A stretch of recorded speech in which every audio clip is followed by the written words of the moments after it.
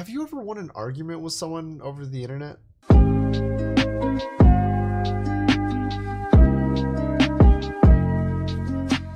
Normally, when you prove someone wrong, it's pretty satisfying. Your ego just gets massive and you establish yourself as the better human. But sometimes people just take such dumb and ignorant stances that maybe it's not worth it. But that would make for a very entertaining video, so allow me to introduce you to our friend Pantorius. Pantorius had a Twitter, and now he doesn't. I'll tell you why he doesn't, but first, let me tell you what he had to say. So I was on Twitter when someone added me with a budget question like they normally do, trying to get some help building their PC. And then, before I could respond, someone already did. You can't build a budget PC for four five hundred dollars that would run Apex and Fortnite well. I was pretty interested that some random took such a hard stance on something so, oh really? You can't? And then him, being the open-minded individual that he is, he said, no. So at this point, I figured I might as well have some fun with this guy. How much would you like to bet? To which he gave me a much more mature response than I expected. I'm 35, been putting together my own PC since I was 12. If you want a good PC that will run Apex and Fortnite well, without lag, stutters, or hiccups, and 180 plus frame rate, you will spend $1,500 plus. Can you put one together for 500? Yes. Will it run those games well? No.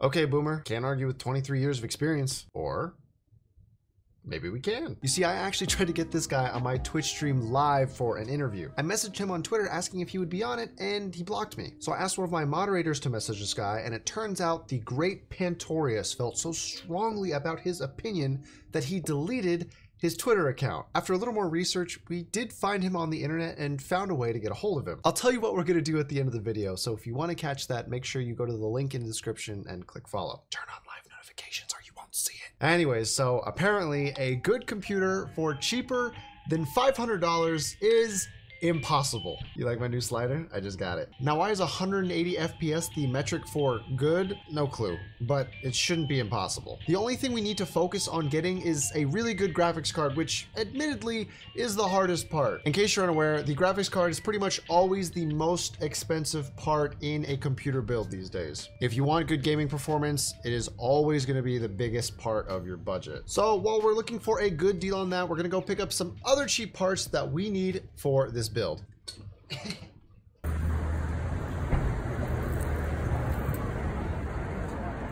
How's it going? Nice to meet you, Chris. Spencer. Okay. Cool. All right, 20, 41, 42, 43, 44, 45. Alrighty, if there's any problems with them, they should all be fine. Awesome. We, they were lightly used for a work project, but we upgraded, so. Looks good to me. Thank you so much. We Appreciate wiped it. them and reformatted them three times just to make sure it. Hey, how's it going? Okay, cool. Mind if I check it out here? This should be oh, Okay. 60. Awesome, perfect. Thank you so much. Appreciate it. Thank you. Have a good one.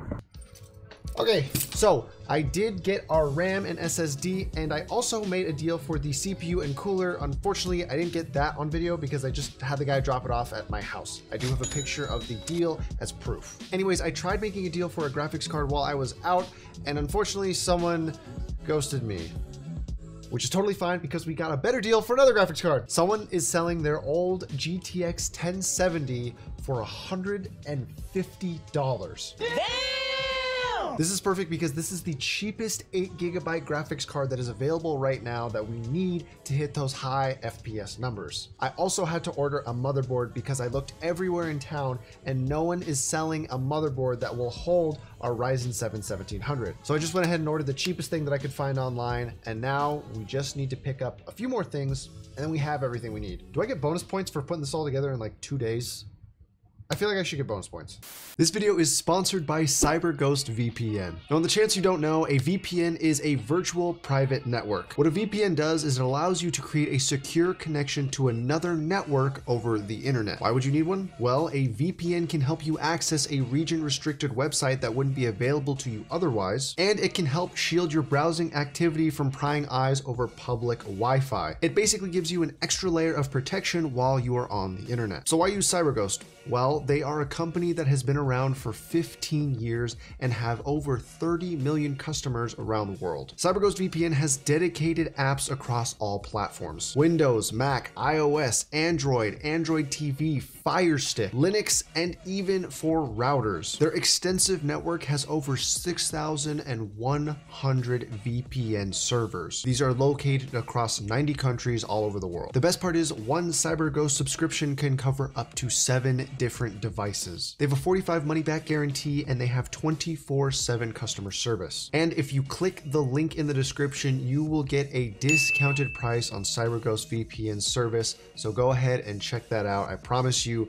a VPN is something you need, especially if you spend your time at all on the internet.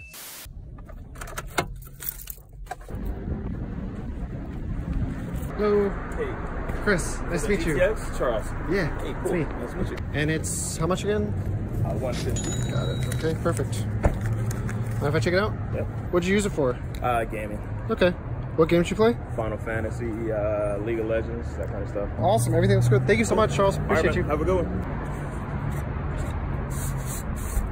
GQ, whatever. So uh, this one was actually 40 bucks. I'm sorry I didn't get the cash exchange. I know that's what I try to use to be legitimate, but homeboy uh, was missing his second uh, 8 pin cable for the graphics card, the 6 plus 2, whatever you want to call it. He wanted it at 50, which I believe I have somewhere in the messages. I'll try to show it on screen. But uh, because he was missing one, he went back home and he got me an extra one that's not EVGA. So now I got it for 40 and I'm not sure if it's gonna work, but uh, hopefully it does. And last but not least, we gotta get the case, which we are actually getting from a store. And the store we are getting it from is the electronics store here in Las Vegas that is pretty much just about to go out of business. If you look around me, this parking lot is pretty much empty. And there was a point in time where it was the only electronics store you would go to because, well, it used to be pretty cool. Uh, but it's going out of business. And I'm not going to tell you which store it is because one of my sponsors conflicts with it. So if you got a brain or you live in Vegas, you know what store I'm talking about.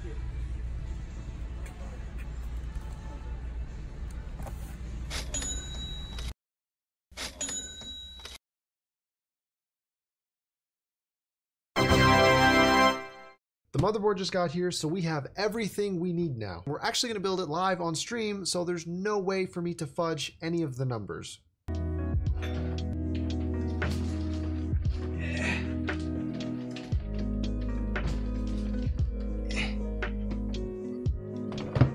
Okay, there we go.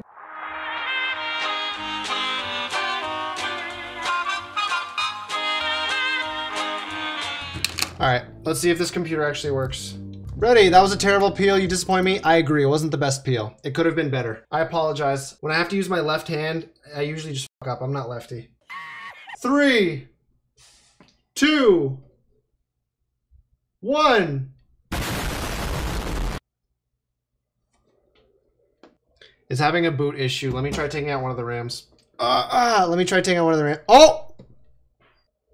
It works! Okay, perfect! Awesome.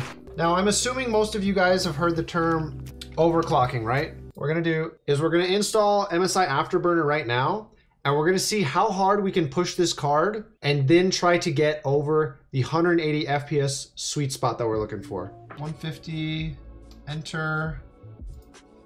150, enter. Okay, we're staying above 180. Oh! No! The overclock is too strong. It's going now. This is what I assume to be regular gameplay. We'll try. Oh! Okay. Wait, that's a bot.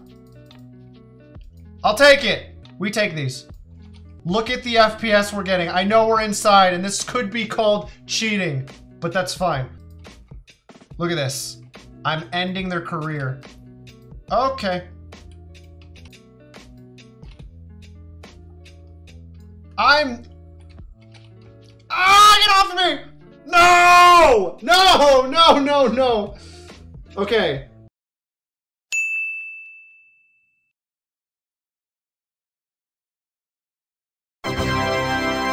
In case anyone was wondering, if it was possible to build a computer for under $500 that can play games at high enough FPS, the answer is yes. So that is the end of the video, but like I did promise earlier, there is going to be some follow-up to this. Pantorius, this message is specifically for you. You see, we know where to get a hold of you now. Well, me and my moderators do. We're gonna message you again. I don't know if you've heard, but I have kind of a nice computer lying around. Didn't cost me too much, you know, just approximately 475. And it plays games pretty well. I'm willing to give that to you for free.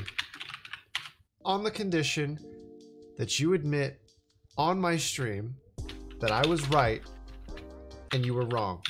No takebacks. The offer is open. We'll send this over to you and we'll see what you have to say. Anyways, I hope you guys found this video creative, entertaining, or informative in any way, shape, or form. And as always, have a great day.